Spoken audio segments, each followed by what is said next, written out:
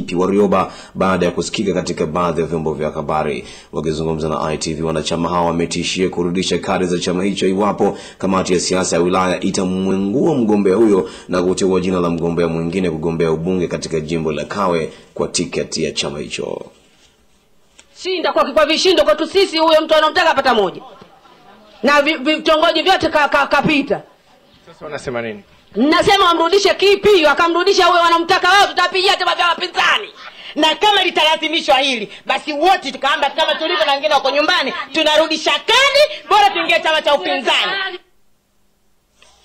Akizungumzia madai ya wanachama hao, mwenyekiti wa CCM wilaya ya Kinondoni Bwana Avon Mwaikambo amepinga matokeo hayo kutangazwa katika vyombo vya habari na kudai CCM wilaya bado ipo kwenye mchakato wa kujua anayeongoza katika kura za maoni kwa jimbo la Kawe kabla ya kuteua atakayegombea kwa mujibu wa katiba.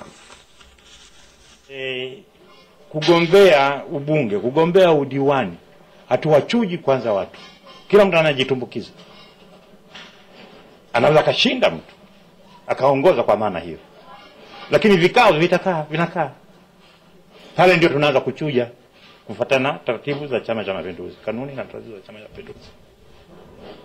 Huyu anafaa, hafai. Ndio maana utakuta mara nyingine hata mtu watano anachukuliwa, wanne wa- wanaachwa